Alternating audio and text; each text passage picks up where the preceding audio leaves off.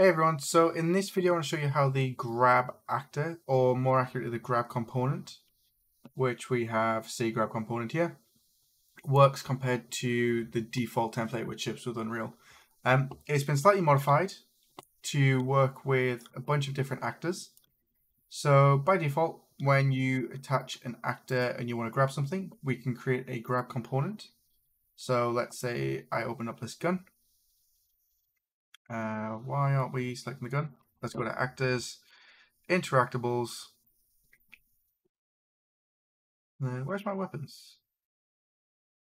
There they are. Actor weapons. Bit more fun.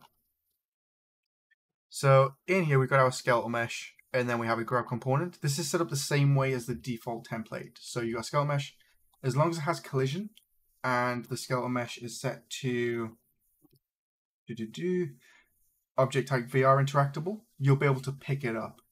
Uh, we have a custom collision channel for the object type due to the capsule player capsule around the player, so we don't interact with ourselves and kind of mess it up.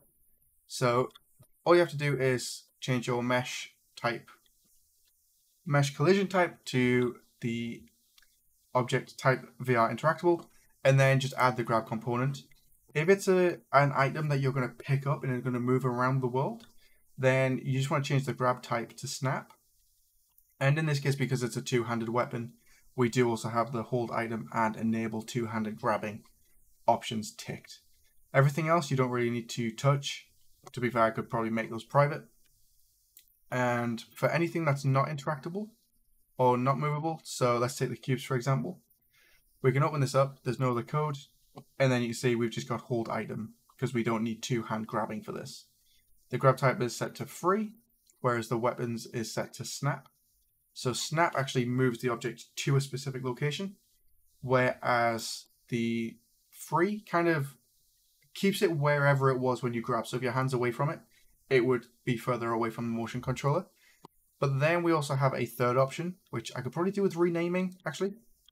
And you'll see here that we actually use the grab component for these interactables as well. So if we open up this crank valve, actually we do the, oh, up, up, up, up.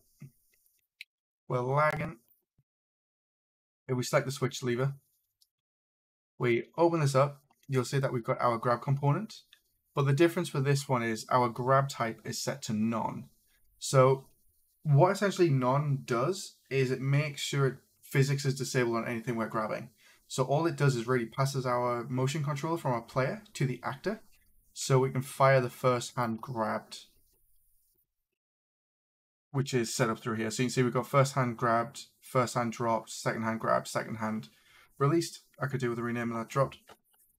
But what they do is they allow you to pass information through and then call more code to do what you need to do. So if something's going to be physics based and you're going to pick it up and interact with it, then snap is what you want. So snap and custom, or free and snap. And then if it's something like these ones on the wall, where they're going to just exist and you want to grab them anyway, you want that motion control information to pass through, you just need to make sure they're set to none. And then that would feed that information through to it as well.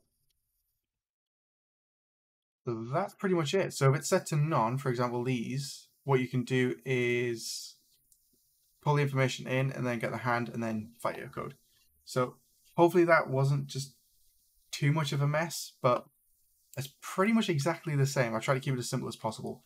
So you take a mesh or a scale mesh, you add a grab component, set it to snap or free, and then if it doesn't need to be interacted with, like a weapon or something you're going to pick up and grab, then you set it to none, and you'll be able to go through and actually interact with it that way without pulling it off the wall.